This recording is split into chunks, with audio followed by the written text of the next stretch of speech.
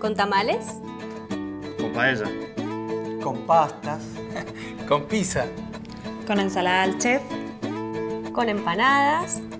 Con lomo al cilantro. Con un asadito. Con vos. Con vos.